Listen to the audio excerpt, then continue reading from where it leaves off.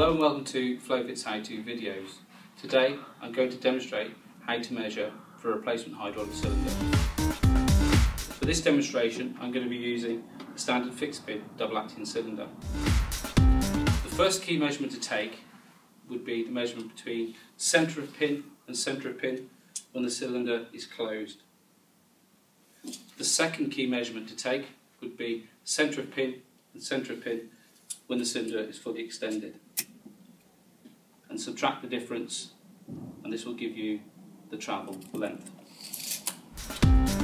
If you cannot do this, i.e. if your cylinder is, is bent, you can't extend it for whatever reason, you can't get an accurate reading, a good rule of thumb is to measure the distance between the centre of port and centre of port and subtract 50 mil and this will give you the travel. The third key measurement would be the bore. This is the internal diameter of the tube that encases the piston. And unless you have the, the cylinder open or apart, this can be very difficult to determine and is often chosen purely on the outside diameter of the tube. This can be detrimental as the dimension that, this gives will give the cylinder its push or power.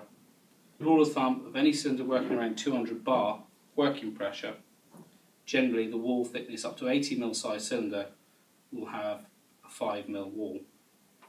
You would double this and subtract it from the overall diameter of the tube. Thank you for watching. For more information or to place an order, please visit the FlowFit website.